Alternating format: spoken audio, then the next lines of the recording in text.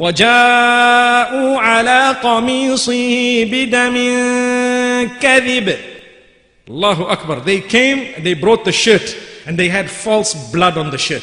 They had cut a little animal, and when the animal was bleeding, they quickly sprayed the blood on the shirt. They said, Right, take it to the father. Now the father is intelligent. If a fox ate the child, the shirt would have been torn. No tear on the shirt. You see, when people want to lie, there's something they forget that the expert would immediately know this is a lie. Like we have emails doing their rounds about the people of Ad.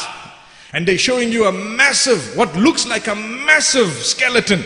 And two small people trying to dig on the side. And they say, people of Ad. And the Muslims are saying, Subhanallah. Not realizing the Quran says there is no trace of the people of Ad. The Quran tells you that.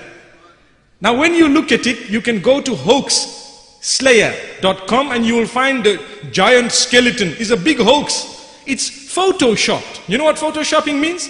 They just edit and cut. So there's a skeleton. All they got to do is take a man, make him small, as though he's digging right by the head and paste him there. And to you it seems like the skeleton is big. Not that the man digging was made small. Allahu Akbar. What a joke. May Allah subhanahu wa ta'ala grant the Muslims guidance. The point I want to raise from this false blood is if you have iman, you will be able to detect what is false and what is not. يا أيها الذين آمنوا إن تتقوا الله يجعل لكم فرقانا O you who believe, if you are conscious of Allah, He will give you the ability to distinguish between right and wrong.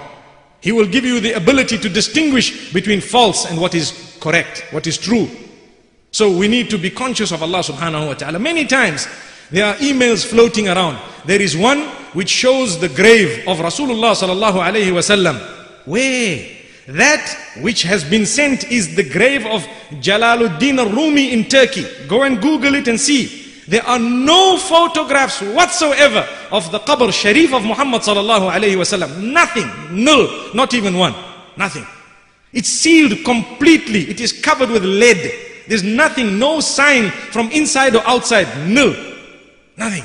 Now people get excited and the emails do their rounds. Then they have another one. House of Khadija radiallahu anha, house of Fatima radiallahu anha, this. Where did they get all this from? Allahu Akbar. Imagine the latest camera with a color, with a color picture, with a resolution far greater than the passport photos we have, and they want to say this is a home in the 1400 years ago. Whose camera were they using? Allahu Akbar. And we say, Subhanallah, we start crying, and we forward the message, and we write at the bottom, if you don't send it to 10 people, you're going to suffer. A'udhu billah. Wallahi, it's a fact. Look at this. And our iman goes higher and lower because of photos that these people are making a fool of us of. Where? And the Muslims are the biggest prey to this type of activity. One wonders why. Maybe shaitan operates in a very professional way when it comes to us because he knows we have iman. May Allah safeguard us. Remember one thing, I always tell people, we want to look at signs. You know, they tell you, look at the clouds, it says Allah. When I was young, I'd seen Father Christmas in the clouds also. Wallahi, it's a fact. If, if, if the Quran, which is the living miracle, cannot move you, what do you think is going to move you? These false signs around you? Allahu Akbar. If Allah says, اقتربت الساعة وانشق القمر when Muhammad pointed at the moon, it split in two. If that doesn't raise your hair, you think a small beetroot written Allah on it is going to move you? When the Hindus use the same beetroot and say, no, it's written Om on it.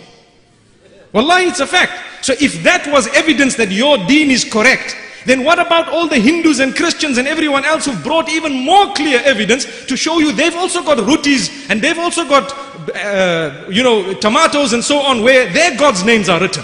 So if that is the evidence of a religion being correct, where you're supposed to look for tomatoes and rotis and eggplants and so on and, and, and vegetables, then what happens to the Quran? Are we putting it on one side? Look at how shaitan comes to us. We have the most powerful gift. When you read and understand the Quran, you will shake.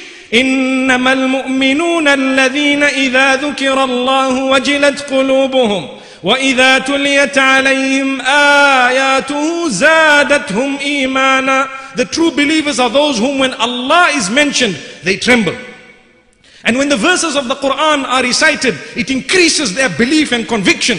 And they are solidified. This is the Quran. But with us, we will read the Quran, khatam after khatam after khatam. It hasn't moved us at all. We're still in the clubs. We're still in the casinos. We're still on drugs. We're trying to justify the use of weed, astaghfirullah. And we're trying to justify everything else that it has no harm in it. And the Quran doesn't move us. Then someone, someone shows us a small little piece of potato and we say, subhanallah, for the first time. Rather than all the verses of the Quran, which is the living miracle. Allahu Akbar. And the sunnah of Muhammad sallallahu alayhi wasallam. Where are we? Where are we? May Allah subhanahu wa ta'ala grant us a deep understanding of the Quran. This is why Allah subhanahu wa ta'ala says, أَفَلَا يَتَدَبَّرُونَ الْقُرْآنَ أَمْ عَلَى قُلُوبٍ أَقْفَالُهَا Are they not going to try to understand and ponder over the verses of the Quran or are their hearts sealed by its locks?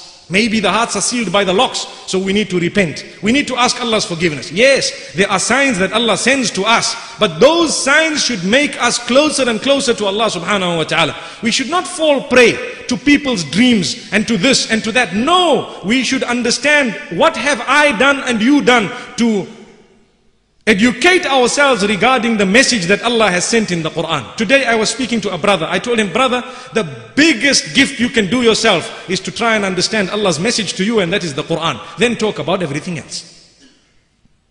May Allah subhanahu wa ta'ala open our doors. So